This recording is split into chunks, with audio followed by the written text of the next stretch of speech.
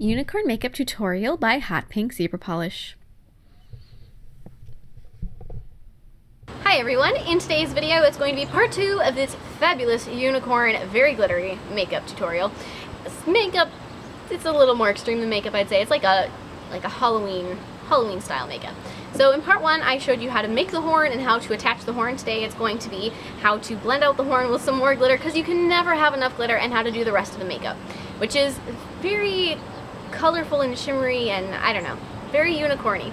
So I hope you guys like this and I'm also going to be showing you a new eyeliner, a felt tip eyeliner pen that I just got that's waterproof and is pretty easy to use. It's very flexible and very thin, which you'll see I actually wrote I love unicorns on my hand and it was so nice because it almost, you could do a calligraphy style with it just because it's so flexible and smooth. But I'll be showing you that and there'll be a link to that in the description box below. So if you're looking for a new eyeliner pen, definitely check that out. And don't forget to click subscribe to see all my future videos as well. So here's the eyeliner pen. It's a pretty, pretty simple thing. Comes in a little box. And it's very thin, which means that it fits, I don't know, I've got relatively small hands, so I really like thin pens and really thin, easy to hold things. So really quickly, I'm just going to write I love unicorns on my hand. I started writing, and then it dawned on me that I didn't know what I wanted to write. And since I knew I was, I mean, this was unicorns, I thought, well, I was right, I love unicorns on my hand. And then later somebody looked at me like, why on earth do you have I love unicorns written on your hand? And their, my response was pretty simply because I can. You know, why not have I love unicorns written on your hand? You know, what, what can it hurt? So anyways, I just decided I would write that out because, well, because I can. So there you have it. I love unicorns written out with that eyeliner pen. And as you can see, it did, I mean, that was pretty easy. Not, I had no plan for this. So this was my spontaneous I love unicorns handwriting. I was pretty happy with it. I kind of surprised myself with that one. Usually I really plan out my fancier handwriting in like for a couple minutes, think about how I'm going to do each letter. That one I just kind of winged it. So to start out the makeup, I'm going to begin with just applying some moisturizer to my face. The foundation I have does not require the use of a primer. It just says to use your moisturizer. So that's what I do. So I'm just going to be doing that. If you want to see more about that foundation, which is like the best foundation I've ever found in my life. I will put a link to that review in the description box below from about a year ago. It really is amazing. It's fantastic. Um, I can't say enough about it. It's it's my favorite. But then after that foundation is put on, it's just a powder foundation. Then I'm going to be taking some gold eyeshadow and I'm going to be just doing that right around the edge of the horn. Now it's really hard to tell in the video because it doesn't really show up all of that much really, but this does help blend out the horn to make it a little less obvious about that difference between horn to skin. And then I'm going to be taking some pink eyeshadow and I'm going to be going over my cheekbones and then down the bridge of my nose. It's a very light shimmery pink. And then taking some purple, I'm going to be adding some purple to my cheekbones, just kind of increasing this. I'm doing a subtle gradient, purple, pink, then aqua because I want it to be mostly pink. So just a little bit of purple and a little bit of aqua. So there's the aqua on there. And these are all very pastel colors that on me don't show up very much, which is what I was going for. I want it to be a subtle little rainbow highlight on my skin.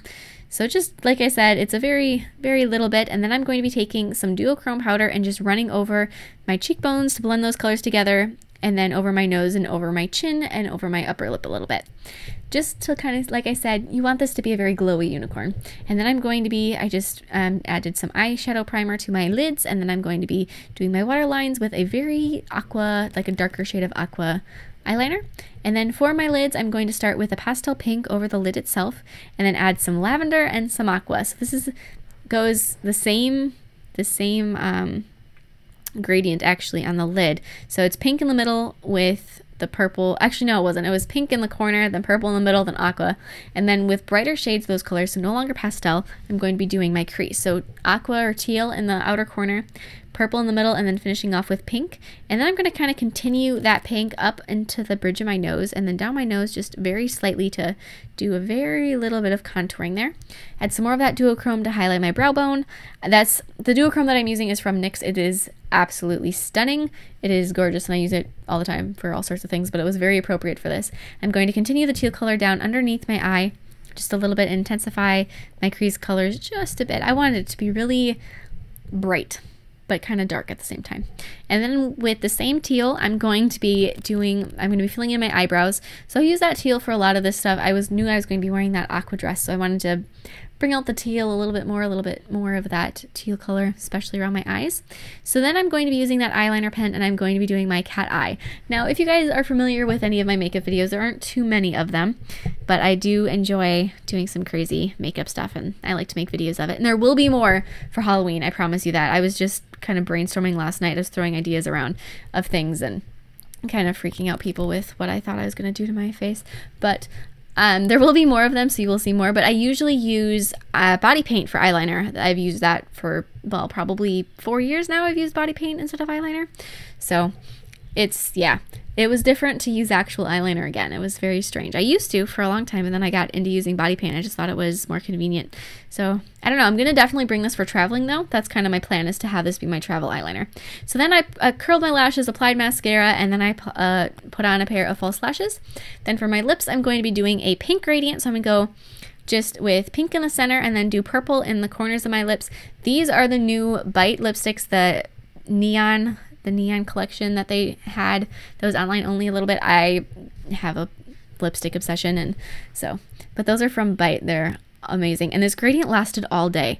Like it didn't come off. I ate lunch and everything and it lasted until I took it off and when I took a shower that night. It was remarkable. It was fantastic. I didn't bleed or anything. I love I don't I think Bite is probably my favorite lipstick brand. But anyways, I hope you guys like this. Like I said in the last video, if you are interested in a unicorn horn, let me know and we can definitely work that out. Otherwise, I might be putting a few of them on my online store, so check those out. There'll be a link in the description box below and share any recreations with me on Facebook or Instagram because I would love to see them. And I will see you in my next video. Bye!